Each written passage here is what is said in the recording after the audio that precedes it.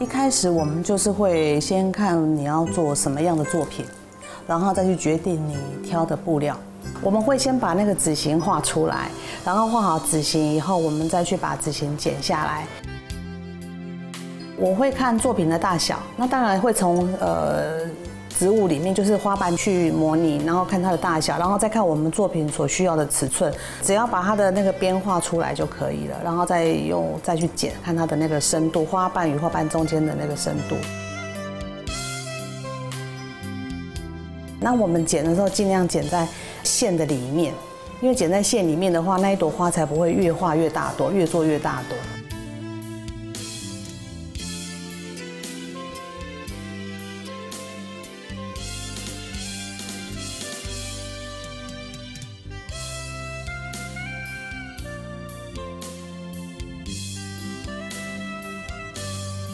剪好花瓣以后，我们就开始调色啦，就看你想要什么样的颜色，然后先拿一块布，然后我们会先试色，然后试好颜色以后，我们才会刷在花瓣上面。那我会以它最多的颜色开始染，对，那因为黄色是它最多的底色，所以我就会从那个弱草色开始染色，先把它的底打好以后，然后再强调色进来。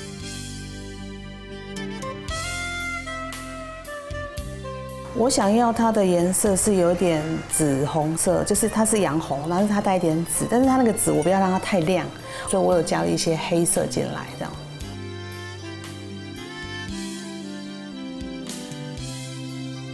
自然植物的样态是我们一个应该算是参考，就是说参考它自然的生态，然后你再想要你要什么样的颜色去做你这件作品，这样子，或者是呃你想要自己创作。创作颜色也都是可以的，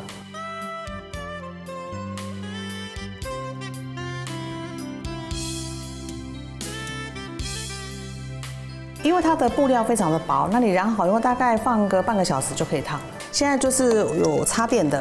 插电的，然后我觉得它有十六种烫头，甚至到十八、十九、二十都有，就是选择你这个烫头也是要看花瓣的大小啦，还有它整个你想呈现花瓣做出来的样子哈，它的表情是怎么样。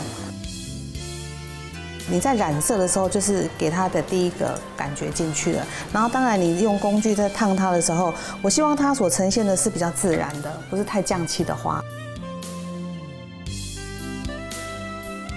就是因为它是一朵小玫瑰，它是小野莓。那小野莓你在烫的时候，你可以只是烫单面，然后就让它呃平整的表现。那如果正反面烫的话，那它更有层次啊。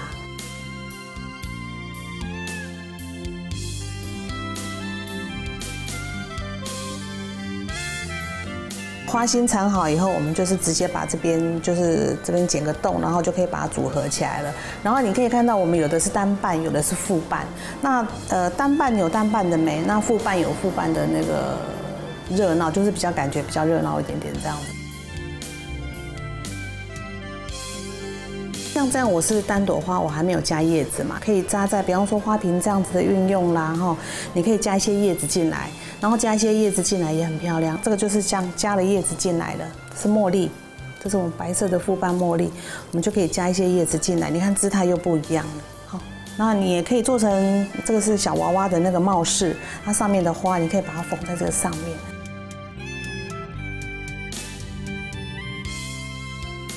艺术造花的运用范围哈，就是可以在那种 BJD 娃娃、球形关节娃娃上面做它的小帽饰啊哈，或者是做它的小花环呐。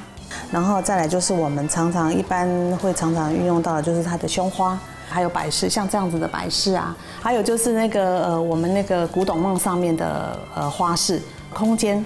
空间的展示，像木兰花，木兰花的话，因为它是纯枝干的表现，它不是在于花卉的那个感觉。那枝干的表现也是我们艺术造花里面非常重要的一环。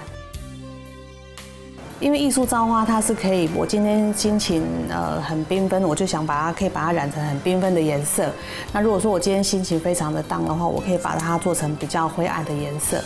那我觉得像在这种创作的时候，是可以把你的心情表现出来的那种感觉。